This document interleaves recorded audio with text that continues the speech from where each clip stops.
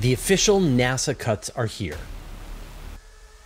Several missions reach big milestones. The solar gravitational lens will be challenging to use in our special bonus version on Patreon, New Horizons, scanning the clouds of hydrogen around the solar system. All this and more in this week's Space Bites. A few weeks ago, I reported on the rumored cuts that the White House administration was going to be making to NASA, specifically fairly deep cuts into the science directorate at NASA. But we didn't have the actual document, the actual plans. Well, now we do.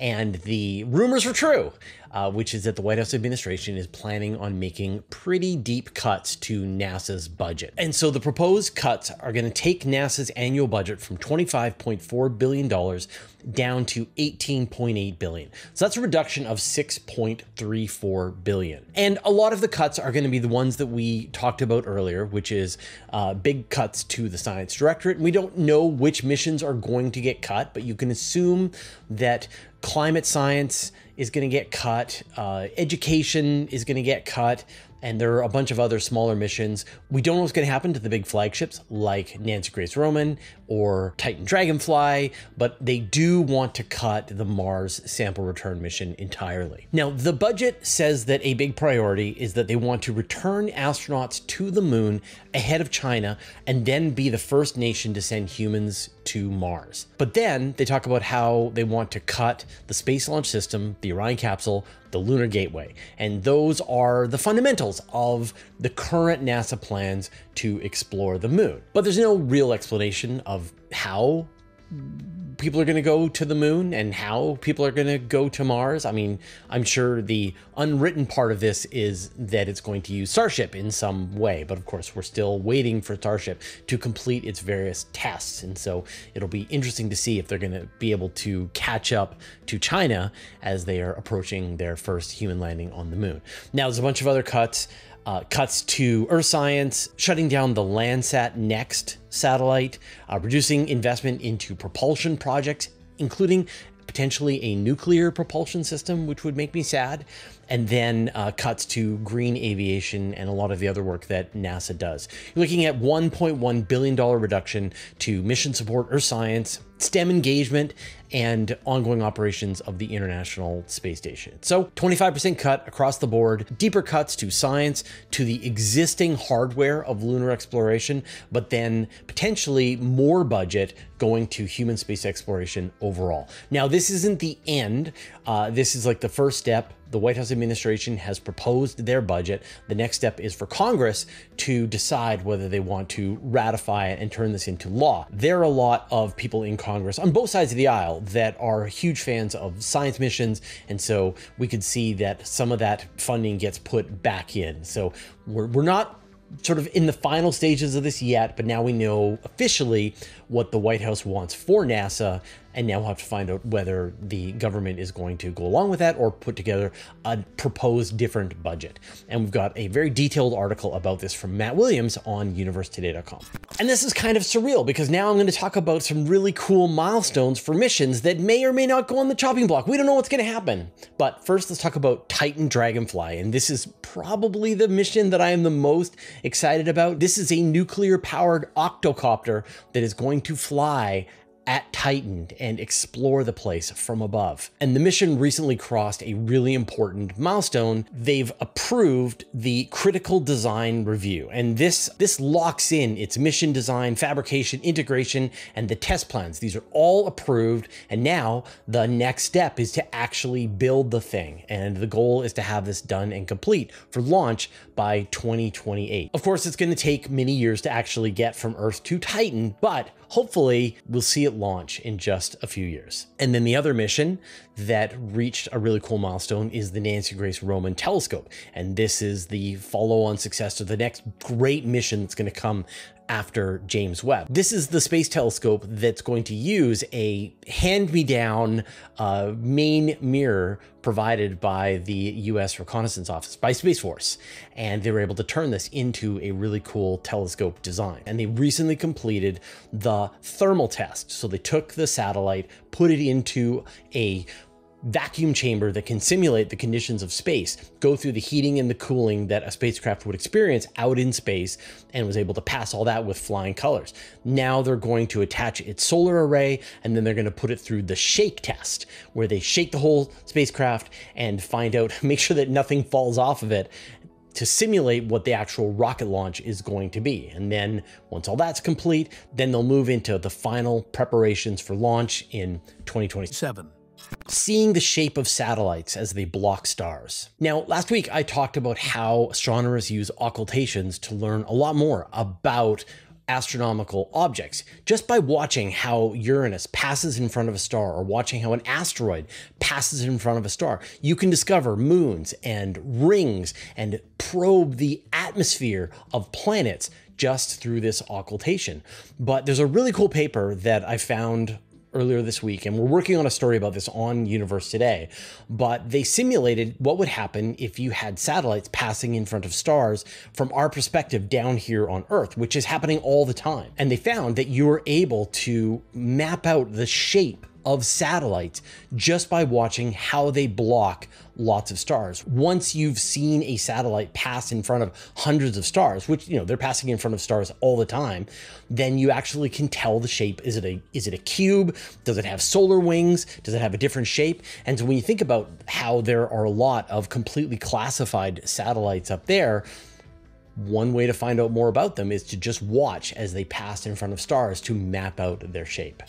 The solar gravitational lens will be challenging. We talk a lot about the solar gravitational lens here on the channel. It's become our new Lagrange point and obviously, I'm incredibly excited about the potential of the solar gravitational lens. And for those of you who aren't familiar with it, this is where you could go out to about 550 astronomical units away from the sun, and then you can use the gravity of the sun as a natural telescope lens. That position puts you at the focal point of this natural lens and gives you the magnifying power of a star. With a telescope out at the solar gravitational lens, you could see a one megapixel image of an exoplanet, the kind of thing that you would have to build a 90 kilometer telescope to do without this additional boost of magnifying power. Well, it sounds too good to be true. Now, first, obviously getting out to 550 astronomical units away from the sun is challenging. This is much farther than even the Voyagers have gone in 50 years of travel. But there are additional problems with the lens. So there are sources of noise that you have to deal with. One issue is that you have the solar corona. This is the atmosphere of the sun that surrounds the sun. It is complicated and puts up a lot of additional material, flickering light that's going to make it more difficult to use that natural lens. Another problem is that we don't completely know the shape of the sun. It is mostly a sphere, but when you're trying to use its light as a natural telescope lens, even slight changes, flatness from its turning will make the lens harder to use. But now there's a new paper that talks about an additional challenge with the solar gravitational lens, and that is clouds. And what the researchers did was simulated if you had a 13% cloud cover on this exoplanet that you're hoping to observe. And that is dramatically less than the average amount of cloud cover that we experience here on Earth. And yet they found that once you put in that cloud cover, then the images of the exoplanet that you're trying to observe become a lot more noisy. And so you're not able to produce a very nice image. And so when you add all those factors together, it's going to become a lot more difficult. Now, in the paper, the researcher proposes a relatively simple solution, which is you send 10,000 telescopes of one meter across out to the solar gravitational lens. And then you can be viewing it from different perspectives and that will clear up the noise. But, you know, we don't even really know how to get one telescope out to the VSGL, not to mention 10,000. So uh, obviously this is going to be one of these great engineering challenges. And if we can pull it off, then our view to the cosmos will change dramatically. But there's a lot of work to be done. Now, we've got a great story about this by Andy Tomaswick on Universe Today.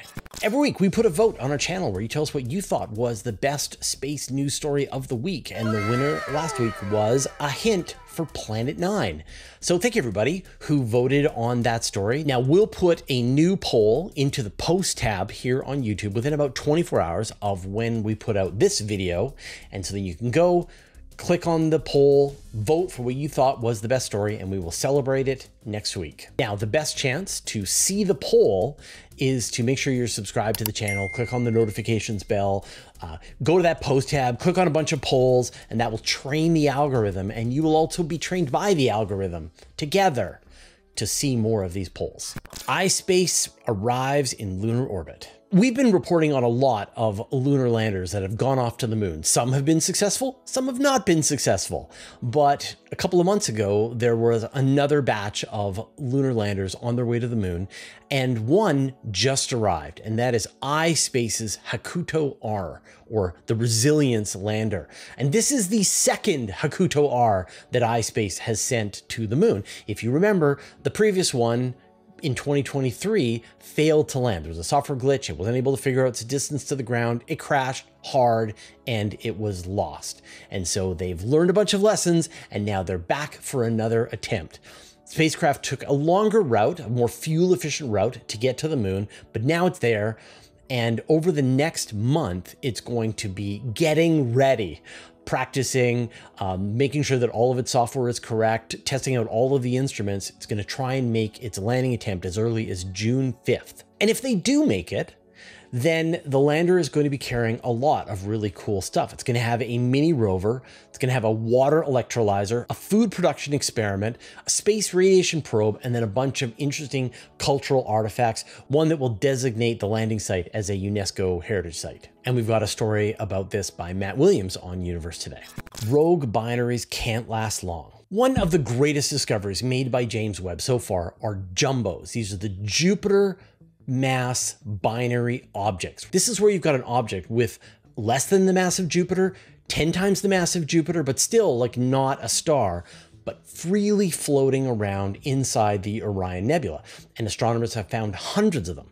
But the part that's weird is that they've also found dozens of binary objects. And this was an incredible surprise. How do you get two planets in orbit around each other without a star? They did they form in place? Did they form together? Were they kicked out of some other stellar environment, found each other, and then went into their own binary planet situation? These are all puzzles. But researchers wondered what are the chances that these planets can survive in such a hostile environment?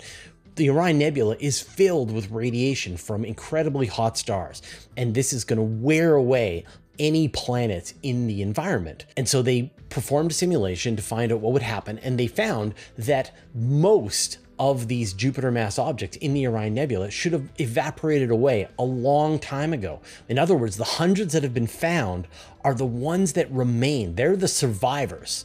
All of the others were dissolved away a long time ago. Still doesn't explain how you get this formation. It makes the fact that these things even exist sort of rarer and more precious. We've got a story about this from Evan Gough on Universe Today. There's a strange object on the edge of the Milky Way. The Milky Way is surrounded by dozens of dwarf galaxies. These are small, low mass galaxies that were formed early on in the universe and they are slowly being gobbled up by the Milky Way. The Milky Way is this giant spiral galaxy today, but it probably was built up by lots and lots of these smaller dwarf galaxies. And so even though these dwarf galaxies have a fraction of the mass of the Milky Way, they still have a normal component of stars to dark matter. But now astronomers have found an object that they're having a really hard time classifying. It's called UMA3U1 and it's located in Ursa Major. And it has all of the characteristics of a dwarf galaxy, and yet it's only about 20 light-years across and has about 60 stars, it has a total mass of about 16 suns. And that is a very small amount. The Pleiades star cluster has way more mass, way more stars than this tiny object, and yet it has some of the characteristics of a dwarf galaxy. It's either the smallest dwarf galaxy that's ever been found or the farthest star cluster that is part of the Milky Way. And so astronomers are still going to try and work out what this thing is. We've got a story about this from Dr. Brian Koberlein on Universe Today. While you're watching this week's episode of Space Bites, I am writing my weekly Guide to Space newsletter. This is where I cover all of the big space and astronomy news stories that we're reporting over on Universe Today. I'm not kidding, like 30 plus stories, lots of really cool and interesting stuff that we just don't have time to talk about here. For example, could sweating spacecraft make reentry easier? Is there a way that you can use this evaporation process to keep a spacecraft safe as it's re-entering the Earth's atmosphere? We've got a story about that from Carolyn Collins Petersen. SPHEREx is now mapping the entire sky. We've been talking about the SPHEREx spacecraft. Now it's in its full operations and the science is coming our way. We've got a story about that by Dave Dickinson. And then Webb watches dramatic weather changes on a pair of nearby brown dwarfs. So Webb was tasked to look at a pair of brown dwarfs for about eight hours, and it was able to see changing weather systems, atmospheric events on the surfaces of these brown dwarfs. We've got a fascinating story about this from Evan Gough so if those stories sound interesting to you, you should sign up for my weekly email newsletter. It goes out every Friday to 70,000 of my closest friends. I write every word, there's no ads, it's completely free. Go to universetoday.com slash newsletter to sign up. We've got a special longer version of this episode over on Patreon called Space Bites Plus. It's exactly the same episode, but with one more story. It's completely free and there are no ads. And this week's story is about how New Horizons is helping map the clouds of hydrogen all around the solar system. And I'll put a link to the episode in the show notes. I'm going to talk about why it's so important to continue supporting missions in a second, but first, I'd like to thank our patrons.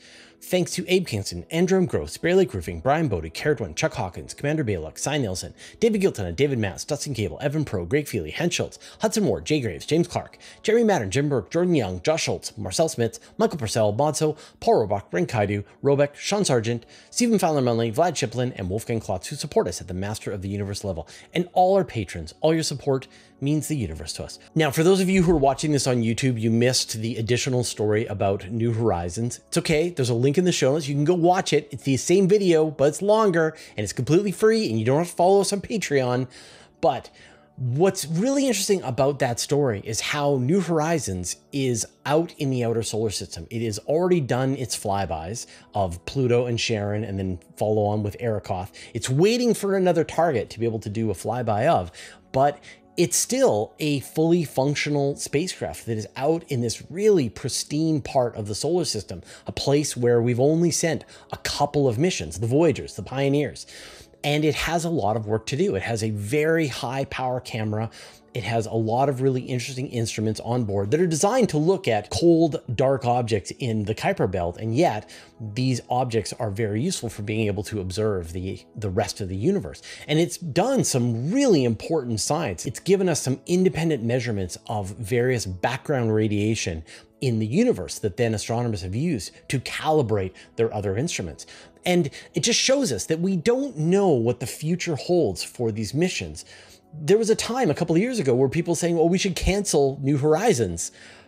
But obviously, it still has so much science left to do, and the budget that is required to keep it operational each year is very, very low. And when we think about the other missions that are already out there, they're still in full function, and yet people are wondering whether or not they should go on the chopping block. Chandra, um, you know, there are other missions that people are are wondering whether they should cut them. And for, from my perspective, I continue to report on so much science that's coming from all of these missions, and even the Voyagers are still making really valuable science discoveries 50 years ish after they were launched. So, uh, hopefully, we'll be able to hang on to all of the spacecraft that you know they stop working because we've like used up all of their possible science and not because we cut their budget and moved on to other priorities. Anyway, that's just my opinion and we will see you next week.